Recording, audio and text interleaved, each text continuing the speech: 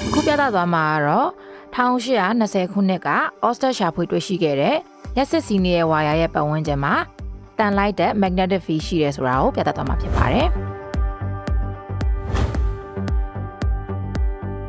ကော်ပါဝါယာကိုဘက်ထရီနဲ့ဆက်လိုက်တဲ့အခါမှာ ဘက်ထရီရဲ့ positive terminal ကနေပြီးတော့ဝါယာတွေကိုလက်စစ်စီပါတယ်။ဒီကောင်ကတော့ဘက်ထရီရဲ့ positive terminal ပါ။ current ကဒီကနေပြီးတော့မှဒီဘက်ကိုစီးနေပါတယ်။ဒီဘက်ကနေဒီဘက်ကိုစီးနေပါတယ်။တန်လိုက်အိမ်မြောင်လေးကိုဝါယာရဲ့အပေါ်ကိုထားလိုက်တဲ့အခါမှာတန်လိုက်အိမ်မြောင်လေးလှုပ်သွားတာကိုတွေ့ရပါတယ်။ဒီတန်လိုက်အိမ်မြောင်ကိုပဲဝါယာအောက်ကိုရွှေ့လိုက်တဲ့အခါမှာတော့တန်လိုက်အိမ်မြောင်ရဲ့ direction ရောင်းမြန်ဖြစ်သွားတာကိုတွေ့ရပါတယ်။